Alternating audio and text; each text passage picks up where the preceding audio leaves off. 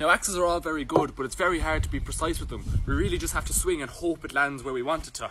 So look, I was aiming for the middle there, but I ended up just taking a chip off the side. That's all good if we're just trying to split up woods to use for the fire. But um, if we want to take a more precise cut for building, we're gonna have to use a froe. Here we have a piece of wood, uh, it's almost square, but let's say we want to cut it perfectly square. So we can start by cutting away this part here. Now we could try it with an axe, but we'd probably miss and make a mess of it.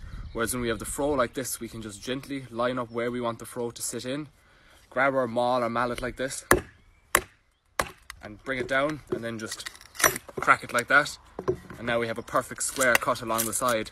Let's say we want to go again here, just line it up,